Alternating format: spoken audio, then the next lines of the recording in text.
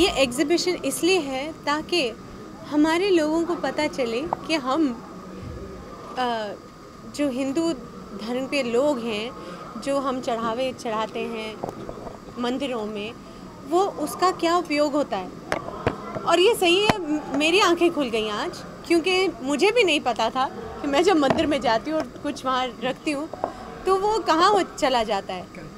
तो वो जिन अच्छे कर्मों के लिए कामों के लिए वहाँ से बता रहे थे कि स्कूल्स चलते हैं अस्पताल फ्री के आ, क्या बोलते हैं ट्रीटमेंट करते हैं कॉलेजेस चलते हैं इन पैसों से कि जो मेरी छोटी सी कंट्रीब्यूशन है और हमारे करोड़ों लोगों की हम जो थोड़ा थोड़ा भी पैसा डालते हैं वो कहीं किसी की भलाई के लिए चला जाता है किसी को खाना मिलता है किसी बच्चे गरीब बच्चे को एजुकेशन मिलती है ये सब अच्छे काम होते हैं और हमारे टेम्पल्स तो आपको पता है कितने सारे?